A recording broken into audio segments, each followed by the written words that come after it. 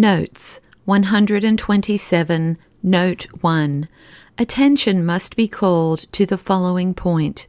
Throughout this week and the subsequent weeks, I ought to read only the mystery that I am immediately to contemplate.